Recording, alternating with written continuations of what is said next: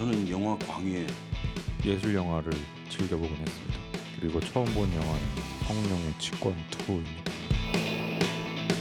처음 본 영화는 할로우맨인 것 같아요. 에릭 로메를 좋아하고요. 진정우 씨 좋아하는데요. 자막이 없는 영화를 좋아합니다. 왜냐하면 자막을 못 따라 읽더라니까요.